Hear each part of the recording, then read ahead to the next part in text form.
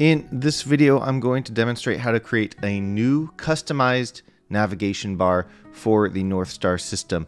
I'm going to create the third navigation bar in the package, but this is the same steps you would have to take to create your own navigation bar with your own artwork and your own settings. Start by going to game objects, go Northstar. Recently, I just simplified this to create window, and then we can drop dock this wherever.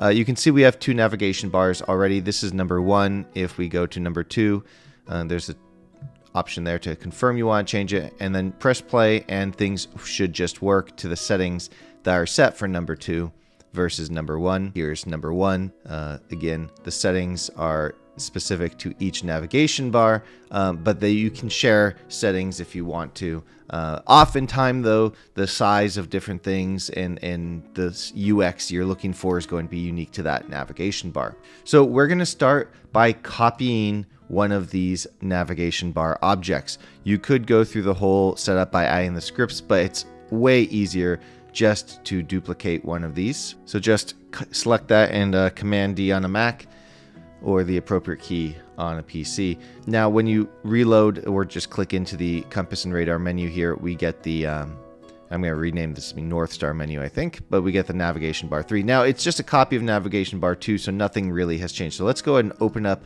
this prefab here and start by changing the artwork out. So I already have uh, our horizontal line 3 I'm going to use up here. I'm going to throw that up there. So we're going to leave that there and come out of the prefab. And then let's load it up in the scene by clicking the button here. And now we have it in the scene. The Rect Transform is currently set to the same as number two. We're going to keep these settings because the bar, the bar artwork includes these arrows and if it stretches wide or gets squished, those arrows won't quite look right. And so we're going to leave it as this, but we are going to raise it up so that the position is uh, just higher up on the screen there.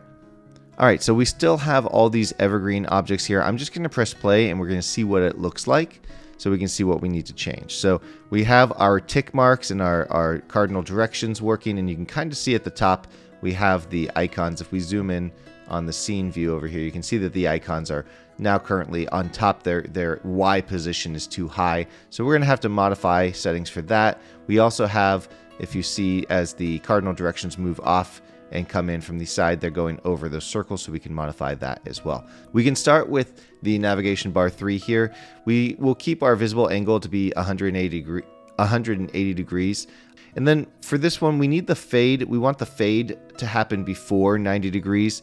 The edge of the bar is at 90 degrees, one half of this visible angle. That's 90 degrees left and right. We have the circle here.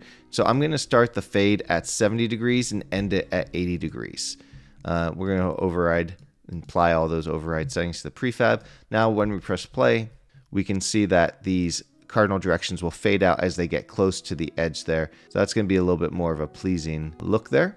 Now we also have the Northstar overlay settings. This is currently set to the default settings. And I'm going to change this because I'm going to have unique settings for all of these as the as the default. So we're going to duplicate that one so we save what we currently have.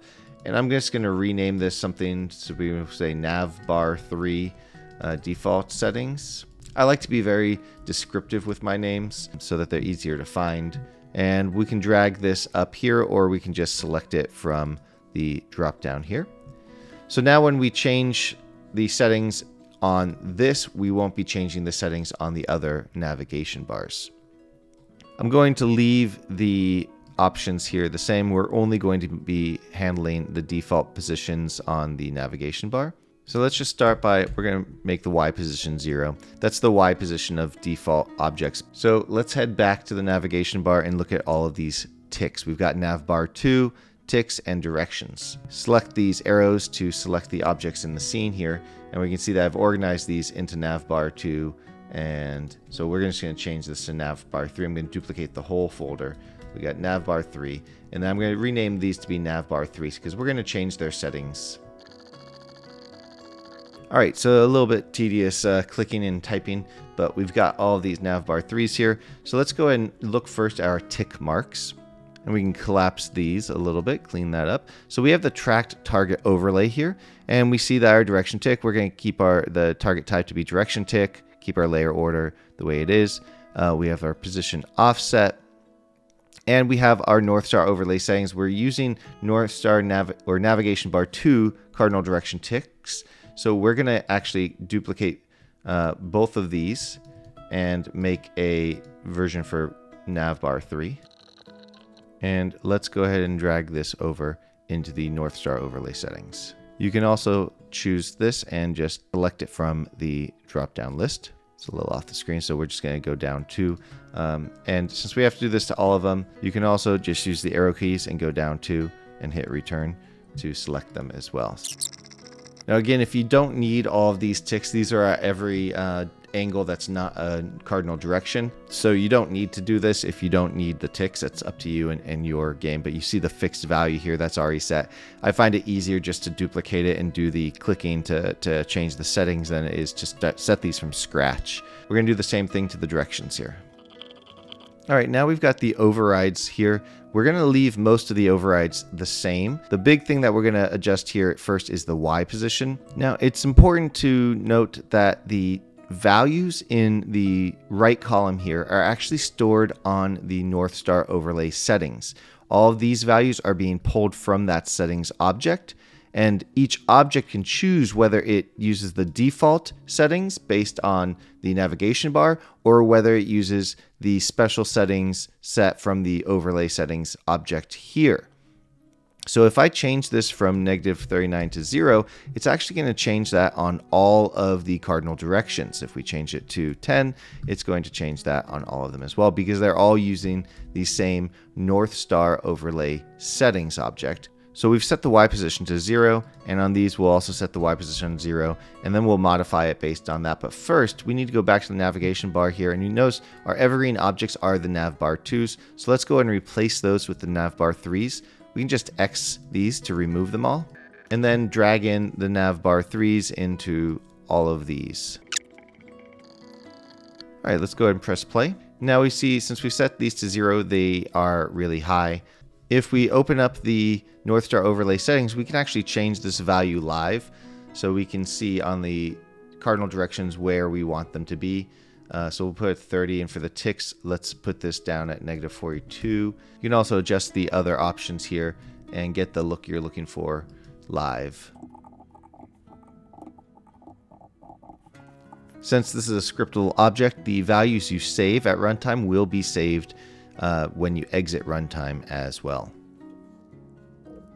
You make the opacity smaller on the tick marks as well. All right, so now the cardinal directions look pretty good to me. They're much more faded than in the other look, and that will match the uh, style I'm looking for with this whole transparent, um, this transparent look. You can see the transparency now, I guess, if I am not over the sky. If you're following this tutorial line by line, one thing you have to do after you've set these values, go ahead and click the navigation bar 3 here and click yes. The Northstar screen overlay and the navigation bar should have the same overlay settings here. Uh, but if you are changing this live and you change the settings in the navigation bar, uh, and then of course you apply your settings to the prefab, this value will not have updated. So you might still be on a different settings here.